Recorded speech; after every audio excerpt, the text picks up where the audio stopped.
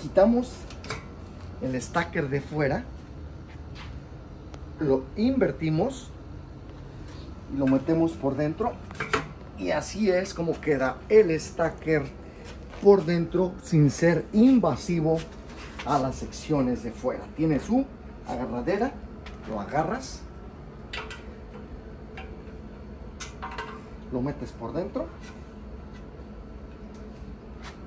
Ahí está, el stacker por dentro. Mire usted. Ahora,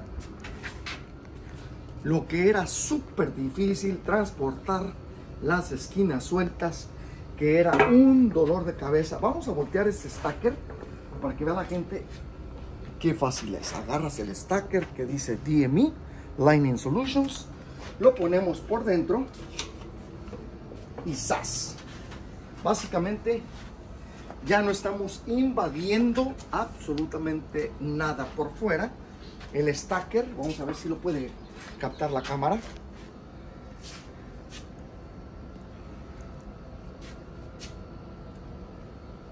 El stacker queda por dentro. Ahora, dos, no, no.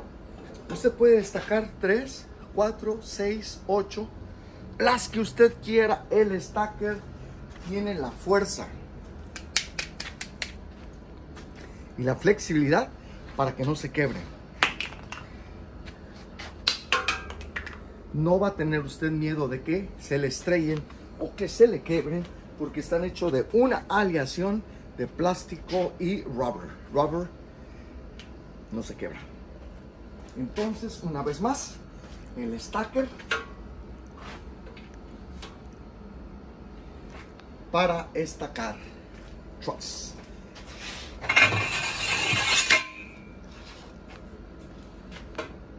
¿Habíase visto eso antes? No. ¿Habíase visto antes? No. Esto es revolucionario al grado de los tubos que en el pasado era lo más difícil de transportar usted puede ver. Mira el stacker mira lo que hace el stacker